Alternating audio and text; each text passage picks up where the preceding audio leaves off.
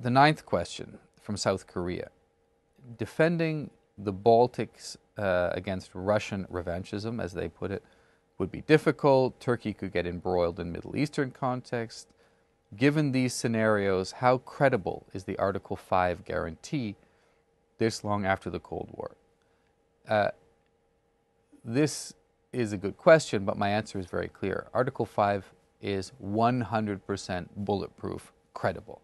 Uh, you saw that it was invoked uh, over uh, September 11th, the only time it's been invoked. But in terms of the political commitment of the Allies to defend each other, it is rock solid. That's the first thing.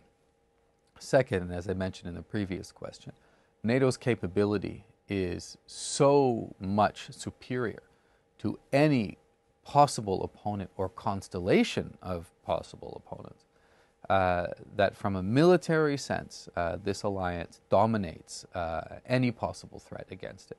So, uh, on that issue, I have no concerns. We have a lot of difficulties here uh, in terms of uh, managing defense cuts, in terms of dealing with complicated military operations like Afghanistan halfway around the world. but when it comes to Article 5, I have no doubt. the Allies stand together and they can defend against any credible threat that anyone could conceivably imagine.